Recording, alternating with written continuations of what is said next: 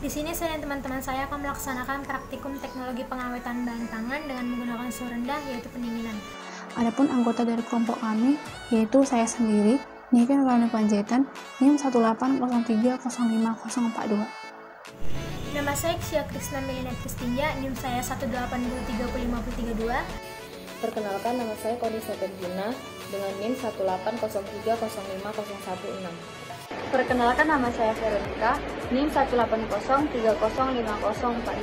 Pengawetan dapat dilakukan dengan dua cara, yaitu pendinginan dan pembekuan.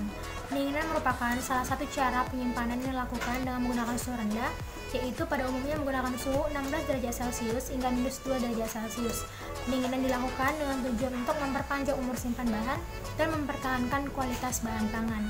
Bahan pangan yang digunakan dalam praktikum kali ini yaitu tomat merah matang morfologis.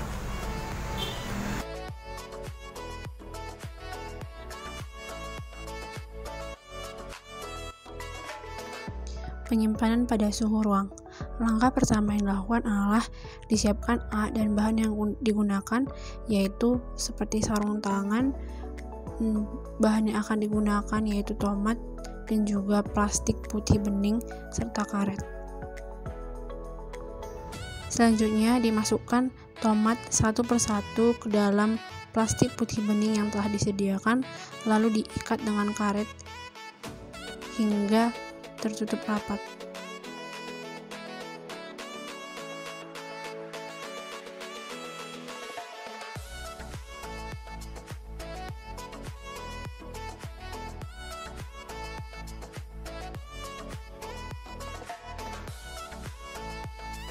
Setelah selesai, bahan kemudian disimpan pada suhu ruang, lalu diamati perubahan apa yang terjadi mulai dari hari ke-0 hari ketiga, hari kelima, dan hari ketujuh. Dimasukkan bahan-bahan yang akan digunakan yaitu tomat merah matang morfologis ke dalam plastik putih bening, kemudian dikat menggunakan karet.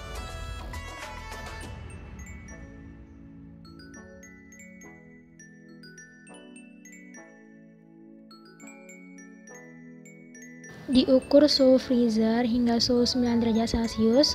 Kemudian tomat yang telah dikemas ke dalam plastik putih bening dimasukkan ke dalam freezer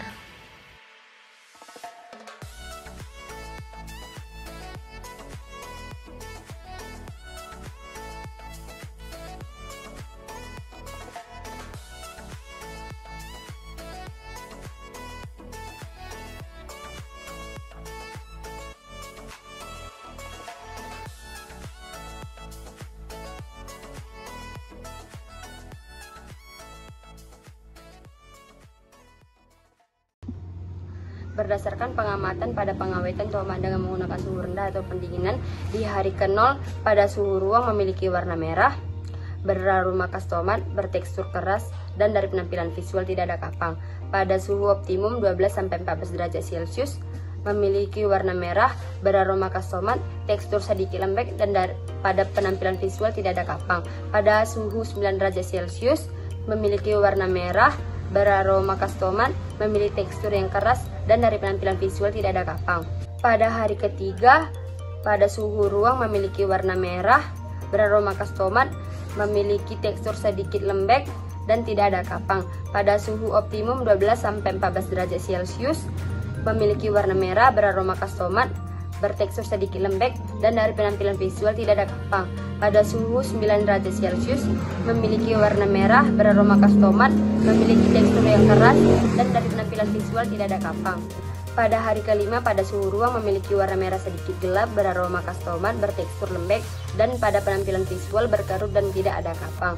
Pada suhu optimum 12-14 derajat Celcius, memiliki warna merah, beraroma khas tomat, bertekstur lembek dan pada penampilan visual tidak ada kapang. Pada suhu 9 derajat Celcius memiliki warna merah, beraroma khas tomat, bertekstur sangat keras dan tidak ada kapang. Pada hari ketujuh di suhu ruang memiliki warna merah gelap, tidak ada aroma dan memiliki tekstur yang lembek, sedangkan pada penampilan visual berkerut dan tidak ada kapang. Pada suhu optimum 12-14 derajat Celcius memiliki warna merah, memiliki aroma khas tomat, bertekstur lembek, dan tidak ada kapang. Pada suhu 9 derajat Celcius memiliki warna merah, beraroma khas tomat, bertekstur sangat keras, dan tidak ada kapang. Adapun kesimpulan yang dapat ditarik pada perlakuan suhu rendah atau pendinginan buah tomat yaitu suhu yang mampu mempertahankan daya simpan tomat. Di mana dilihat dari hasil bahwa buah tomat itu hanya mengalami beberapa perubahan tetapi mampu mempertahankan daya simpan selama tujuh hari. Di mana dari hasil data organoleptik ada beberapa perlakuan tomat pada suhu ruang mengalami perubahan di hari kelima sampai hari ketujuh adanya perubahan tekstur yang dialami buah tomat sedikit lembek dan juga pengamatan visual yang terjadi timbulnya kapang pada tomat. Selanjutnya, adanya perubahan pada suhu 12 sampai 14 derajat Celcius di hari kelima sampai ketujuh dari yang sedikit lembek menjadi lembek.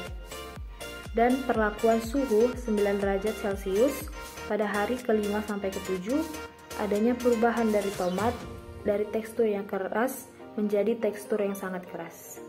Demikian praktikum pengawetan bahan pangan pada suhu rendah atau pendinginan buah tomat.